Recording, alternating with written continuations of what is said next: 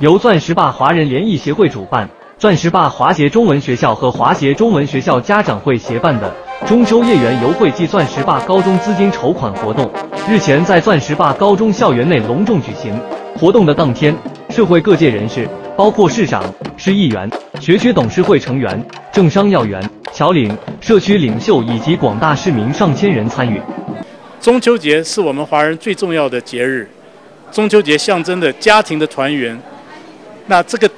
非常好的传统，我希望我们可以来继续传承下去，让我们的下一代都能够持续这个传统。那我们这个学校呢，其实有很多我们华人的学生，所以我们希望他们能够知道我们华人的传统。那我们这个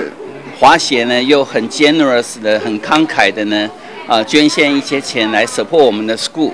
Um, this is our, I believe, our third year getting invited to perform at the Moon Festival, and I hope you can enjoy us as uh, join us as well. 今天呢，也跟钻石坝的高中一起合合办。那我们这边呢，有很多的摊位，有工商摊位，有食品，还有游戏。那也欢迎大家一起跟我们在这边。共襄盛举。钻石坝华人联谊协会是洛杉矶东区最大的华人社区团体之一，长期致力于传承中华文化，同时也积极支持社区发展。今年的中秋夜园游会不仅延续了往年的传统，更将活动的主要目标聚焦于为钻石坝高中筹款，所筹集的资金将用于支持学校的各类教育项目、基础设施改善及学生资源的提升。美南电视台驻加州记者王福明，洛杉矶报道。